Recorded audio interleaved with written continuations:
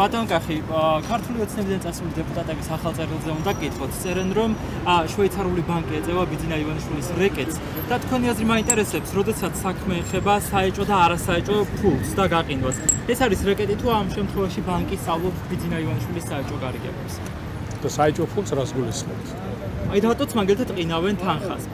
აი ეს მაინტერესებს, რომ თქვენი პოზიცია როგორია ამ შემთხვევაში? ეთანხმებით ქართული ოცნებიდან ეს არის ზუსტად შეკითხვა რომ რატომ რატომ აკეთებენ ამას როდესაც ადამიანს წლების განმავლობაში ეს თანხები ქონდა კონკრეტულ ბანკში ჩაულებრივად ყოველგვარი დაფქოლებების გარეშე ახერხებდა ამ ფულის გადარიცხვას, გამოყენებას, საჭიროების ამებრ და ერთ მშვენიერ დღეს იქნა ეს გადაწყვეტილება მიღებული თანხების გაჩერებასთან დაკავშირებით სრულად უკანონოდ ყოველგვარი ახსნა განმარტებების გარეშე და რა თქმა უნდა ესეც ძალიან დიდ კითხვას არის ეს რეკეტი? თქვენი აზრით რა თქმა უნდა შეიძლება უფრო მეტიც.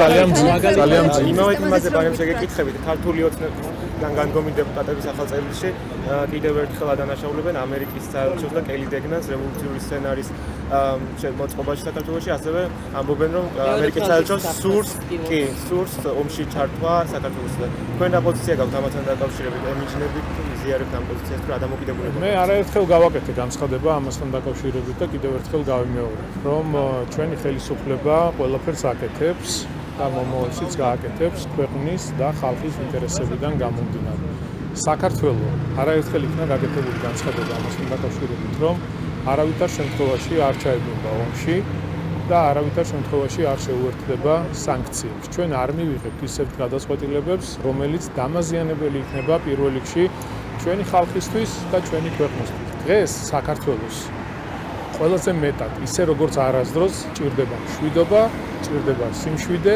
და ქვეყნის ეკონომიკური განვითარება. თქვენ ხედავთ ყოველ თვიურად როგორ იზრდება ეკონომიკა, ამის მონაცემები ქვეყნდება, რაც რა თქმა უნდა მისასალმებელია, როგორ იზრდება ტურისტების რაოდენობა, რაც რა თქმა უნდა მისასალმებელია და ეს პირდაპირ აისახება ადამიანების კეთილდღეობაზე. უამრავი დასაქმებული ადამიანი, უამრავი ახალი რესტორანი, კაფე-ბარი, ჰოსტელები, ეს ხომ რა თქმა უნდა ადამიანების კეთილდღეობაზეა ყველაფერი და ჩვენ ყოველთვის ხელშეუწყობთ ეკონომიკის, ტურიზმის განვითარებას და აღშენებას. კონკრეტულად ამ გადაწყვეტილებაზე თუ არის თქვენთვის მისაღები, ნახეთ, აი ისპედის გამოქომაგებით ამერიკის შეერთებული შტატების საელჩო ქართულ ოცნებას ეუბნება, რომ რევოლუცია უნდა მოხდეს ნაციონალური მოძრაობა მეორე ფრონტის დასახსნელად ხელისუფლებაში დაბრუნებას და საზოგადოებას უნდა დაბრუნდეს და საზოგადოება ამას შეერგოს. ეს შინაარსი თქვენთვის რამდენად მისაღებია? რამდენად მართებულია ამერიკის საელჩოზე მსგავსი განცხადება? ყველასათვის, ყველასათვის ხადი და ნათელია, რომ ნაციონალური მოძრაობა ეს არის ადამიანების დაჯგუფება, რომელთა სურვილი არის, რომ ქვეყანაში მოხდეს არეულობა, ქვეყანაში მოხდეს რევოლუციები. ეს ჩემი მოგონილი ხო არ არის, ეს არის მათი პირდაპირი განცხადებები, მათი სატელევიზიო ნარატივი, რასაც ყოველდღიურად აგდნენ მოსახლეობას. თუმცა, კიდევ ერთხელ ვიმეორებ, არავის არ გამოუვა ქვეყანაში არეულობის შემოტანა. ჩვენ ყველაფერს გავაკეთებთ იმისთვის, რომ ქვეყანაში იყოს მშვიდობა, ქვეყანაში იყოს სიმშვიდე.